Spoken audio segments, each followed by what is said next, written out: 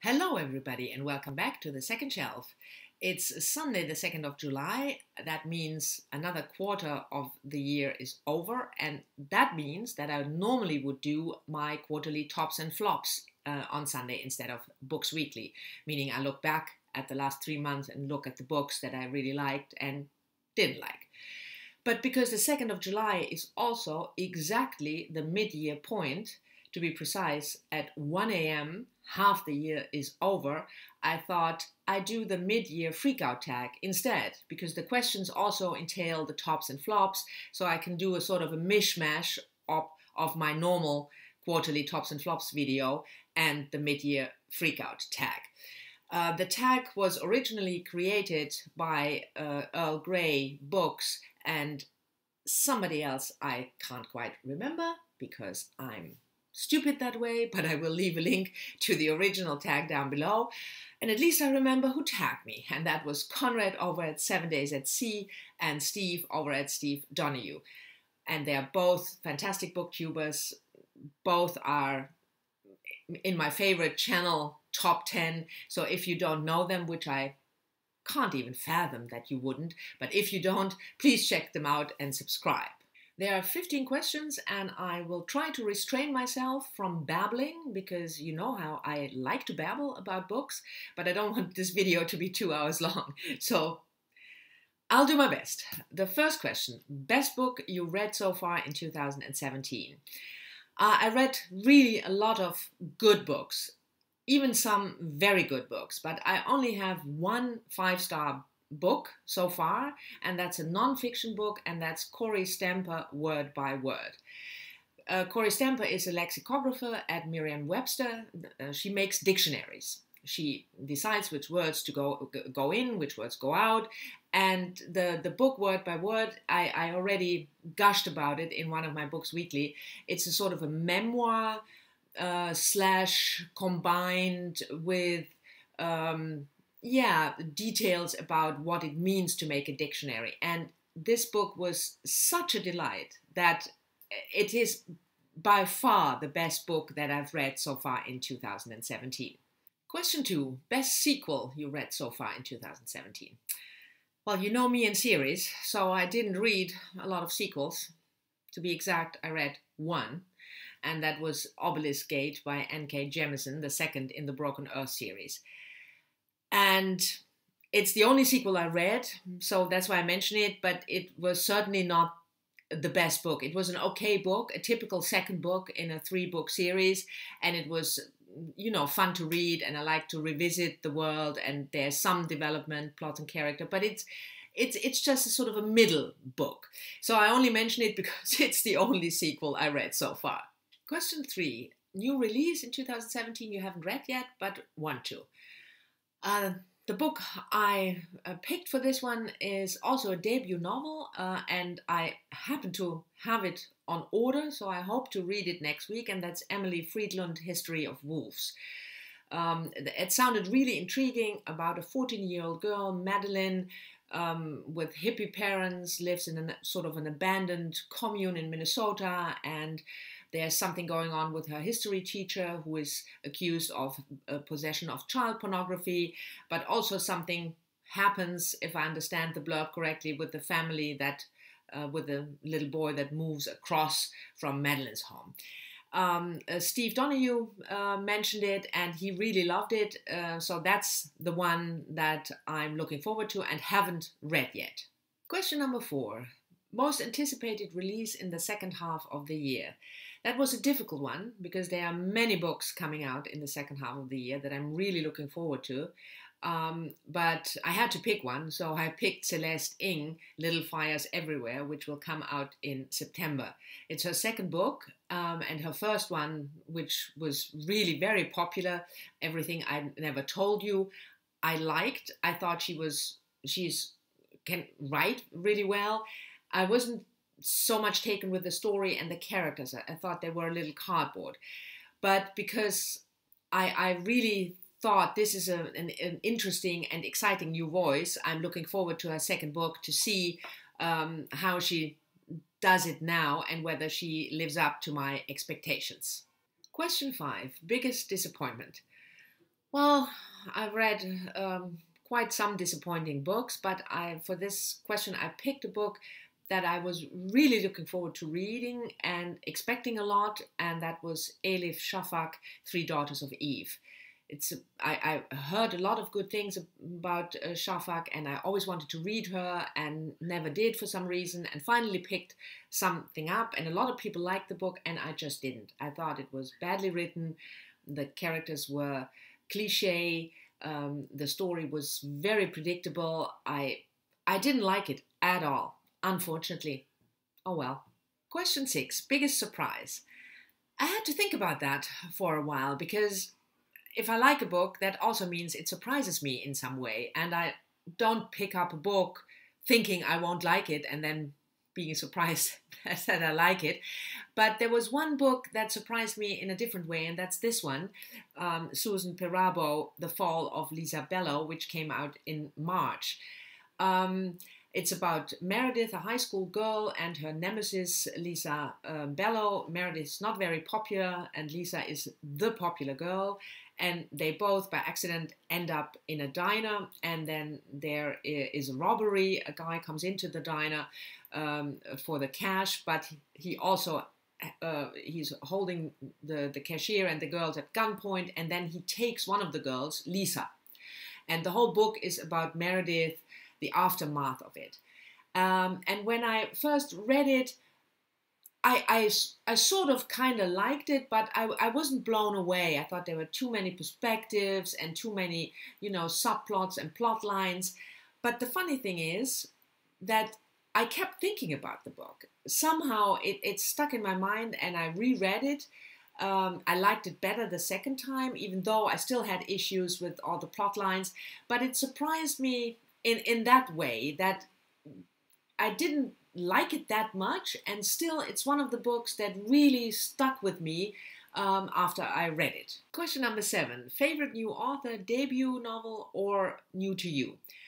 Um, and I've read a, a lot of good debut novels, but because I'm a cheat, I will cheat a little bit on this question and answer with an author that is not entirely new to me, but who I forgot and rediscovered, and that's Elizabeth Day. Um, and I just read last week her new book, The Party, which will come out in July. I already mentioned it in my July TBR because I really liked it. And I've read her debut five or six years ago, Scissors, Paper, Stone, and then I forgot all about her, even though I liked the debut. Uh, and after I read The Party last week, I really want to read all the books in between the debut and The Party. I think at two or three novels. So even though it's a little cheat, but you will have to deal with that. Question eight Newest fictional crush. Well, as Steve Donoghue would say, repeat after me. I don't have fictional crushes. Ever. Sorry about that. Question 9. Newest favorite character. And for this one, I go with the god, the god Apollo in Jo Walton's The Just City. The Just City is the first one in a trilogy, and I really love the book. And even though I have a difficulty with series, as you know, I did, after a couple of months, now pick up the second book and started reading it. Um, so that's how much I liked it. Um, the Just City is um, a combination, I would say, of sci fi fantasy um, the the premise of the book is that the goddess uh, Pallas Athene wants to uh, try out an experiment, and she wants to see how it would be if you could live in a society like Plato described in his Republic. So what she does is she time travels um, and gets people from all over the world and every kind of time period as teachers, because you need teachers for Plato's Republic. And then there are also 10,000 children who are brought into this uh, new city.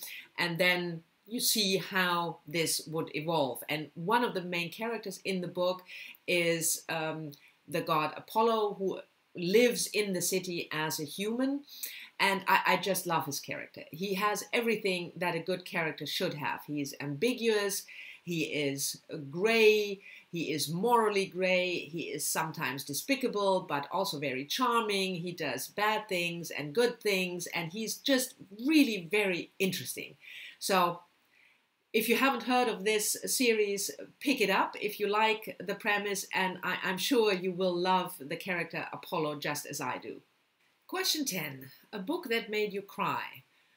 Well, I don't really cry when I read a book, but I picked a book that made me sad and a combination of sad and angry, and that's Louise O'Neill's Asking for It. Um, I discussed the books, uh, the book in, in one of my books weekly already. I really liked it. It's about a young girl, a high school girl, um, who is date raped, and and the video of that horrible incident is put on Facebook. And the book is all about the aftermath, how the family deals with it, how she deals with it, how her friends deal with it, and especially the, the fact that that she feels so alone and so pressured to, to do certain things afterwards that she doesn't want to do made me really sad i didn't cry but it made me really sad uh, probably also because it's yeah it's a true story. I mean not not the book is not about a true story but these things really happen and they make me incredibly sad and angry. Question 11 a book that made you happy. Well, there are a lot of novels always make me happy because I really enjoy reading them, but there's nothing that makes me more happy than books about books and writers. And I read one this year that I really, really loved, and that's Kate Bolick's Spinster. Um, it's a non-fiction book, combination of a memoir. Uh, Kate Bollock is a, a journalist, and she describes her difficulty of finding her own way, and she does that by looking to the lives of other women writers, uh, journalistic writers, but also poets, uh, uh, novelists. And I, I really loved the book. And like I said, books about books and writers, they just make me happy. So read The Spinster. It's a really good book. Question number 12 Favorite book to movie adaptation you saw this year? Well, it's the same as it was with the sequels. I saw one adaptation, and that was Hidden Figures, based on the nonfiction book by Margot Lee Shetterly about uh, black female mathematicians who worked for NASA in the 1950s and 60s and helped uh, develop the space program and the first Apollo rocket uh, circling the Earth. And I, yeah, I liked the movie. I thought it was okay. It was very well done, but I liked the book better because it, it was much more profound and more information about, about the women and the history. Uh, but it's the only one I saw, so I have to go with that one. Question 13. A favorite uh, review you've written this year, or for booktubers, favorite video you made this year? Well, I love doing all my videos, but um, um, the favorite video for me to make, or, or the, the, the, the video that I love making the most uh, was my one year anniversary booktube video. That was not a review. Um, it was on the 16th of May and it was one year on booktube and I, I was so happy um, after the year and about you know the, the so many great subscribers and people who comment on my videos all the time and I really loved it this first year so that's my favorite booktube video that I made this year. Question 14, most beautiful book that you bought or received this year. And I got with this one, it's a heavy one. It's Mary McCarthy's, uh, biography of Mary McCarthy, Writing Dangerously by Carol Brightman. And I found this one in a, in a secondhand bookstore for I don't know, three euros or something, or 350, and it's in really, really good condition. And I love the cover. It's a beautiful picture of Mary McCarthy, and if you're following my channel for any length of time, you know that I uh, love Mary McCarthy's work. She's one of my favorite authors. And I also know I promised you a Mary McCarthy author's gush. I will do that in the second half of the year, I promise. Um, but yeah, it's it's a good book. It's a good biography, but it's also a very beautiful book with a very beautiful picture.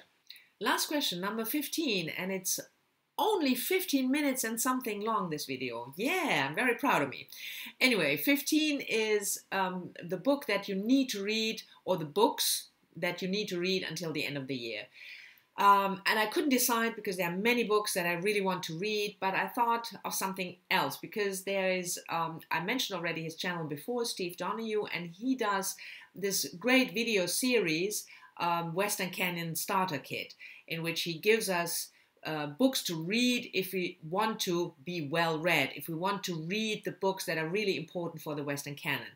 Uh, he made uh, four videos so far, so go check it out. Uh, he started with the Bible, and then we went on uh, to Homer, the Iliad, and the Odyssey, of course, the Greeks, and now the Romans.